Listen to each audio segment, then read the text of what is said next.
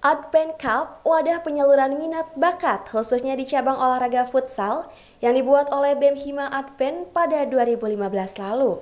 Liga futsal yang diikuti oleh 32 SMA atau SMK sederajat sebandung Raya meliputi Cimahi dan Jatinangor ini berlangsung meriah.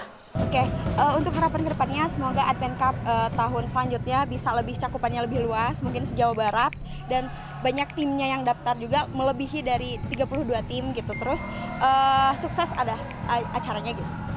Pada pertandingan semifinal menyisakan empat sekolah, yakni SMAN 1 Cimahi, SMAN 1 Cisarua Tim A, SMAN 10 Bandung, dan SMA Pasundan 3 Bandung.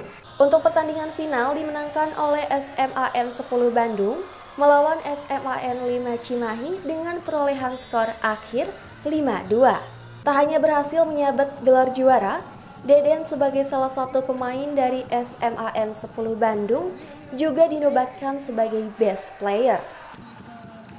Perasaannya saya sangat senang sekali dan merasa bersyukur karena kali-kali ini ke belakang ke belakang kemarin Semanten terus membawa juara ke satu.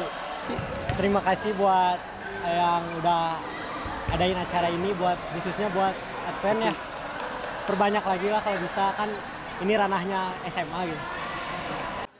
Seperti diketahui, event Liga Futsal ini mendapat dukungan dari banyak pihak karena dianggap dapat memfasilitasi peserta dalam mengasah skill dan mental mereka, serta membantu mempersiapkan bakal atlet baru di masa mendatang.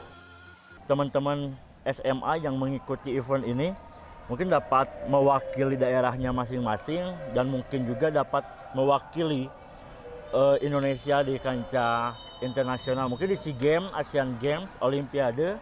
Uh, saya harap tidak hanya event futsal saja gitu yang ada yang terselenggara, tapi cabur-cabur yang lain pun dapat diselenggarakan. Mungkin oleh teman-teman dari universitas lain, eh, fakultas-fakultas lain. Dari Kabupaten Bandung Barat, tim Inspiratif melaporkan.